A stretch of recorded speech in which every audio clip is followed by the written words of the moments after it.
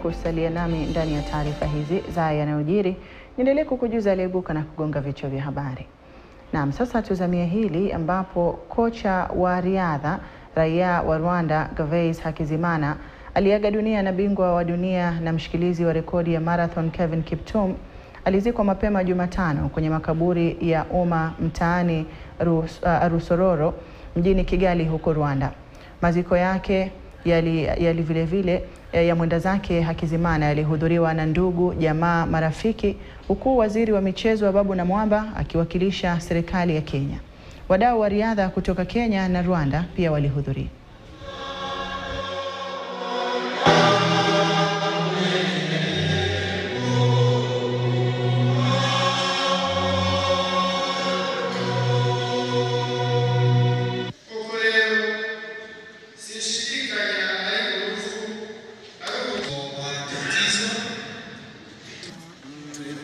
professional.